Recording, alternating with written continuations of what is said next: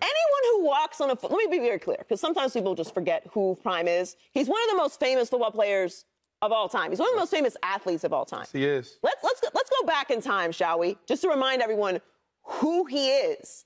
If you walk on a field today in the NFL and have any swag, if you got a chain on, if you're talking, that is where you got it from.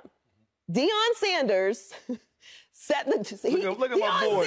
Come on, made icon. Playing with the culture. Icon. I'm playing with pride, Iconic man. is not even enough. Okay, this this man timeless. Like this man is timeless. He made the culture. How is it, why is it bad for him to benefit from his own culture? This is what I don't understand.